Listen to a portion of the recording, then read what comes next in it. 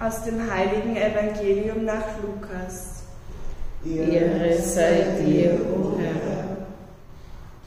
In jener Zeit sprach Jesus zu seinen Jüngern, wenn einer von euch einen Freund hat und um Mitternacht zu ihm geht und sagt, Freund, leih mir drei Brote, denn einer meiner Freunde, der auf Reisen ist, ist zu mir gekommen und ich habe ihm nichts anzubieten. Wird dann etwa der Mann drinnen antworten, lass mich in Ruhe, die Tür ist schon verschlossen und meine Kinder schlafen bei mir. Ich kann nicht aufstehen und dir etwas geben. Ich sage euch, wenn er schon nicht deswegen aufsteht und ihm seine Bitte erfüllt, weil er sein Freund ist, so wird er doch wegen seiner Zudringlichkeit aufstehen und ihm geben, was er braucht. Darum sage ich euch, bittet, dann wird euch gegeben, sucht, dann werdet ihr finden, klopft an, dann wird euch geöffnet. Denn wer bittet, der empfängt. Wer sucht, der findet. Und wer anklopft, dem wird geöffnet. Oder ist unter euch ein Vater, der seinem Sohn eine Schlange gibt, wenn er um einen Fisch bittet? Oder einen Skorpion, wenn er um ein Ei bittet? Wenn nun schon ihr, die ihr böse seid, euren Kindern gebt, was gut ist, wie viel mehr wird der Vater im Himmel den Heiligen Geist denen geben, die ihn bitten.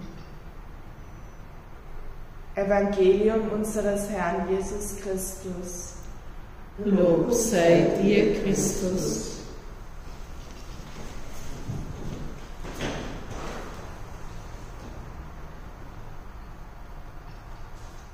Heute hören wir im Evangelium eine Ermutigung, Gott um all das zu bitten, was wir brauchen und auch darüber hinaus. Und wir dürfen darauf vertrauen, dass er unsere Bitten auch hört und er wird sie auf seine Weise erfüllen, auch wenn das vielleicht nicht immer so ist, wie wir uns das vorstellen oder wie wir es uns wünschen würden. Für mich drückt das Bitten so die Offenheit oder die Bereitschaft aus, das zu empfangen, was Gott mir schenken möchte.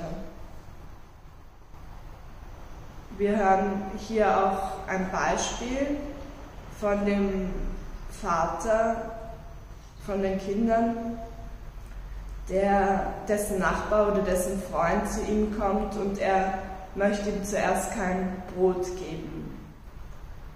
Und dann heißt es, dass Gott, unser Vater im Himmel, die Bitten noch mehr erfüllen wird als ein Vater seinen Kindern. Das heißt, die Sorge Gottes um uns ist noch viel größer als die Sorge der Eltern für die Kinder.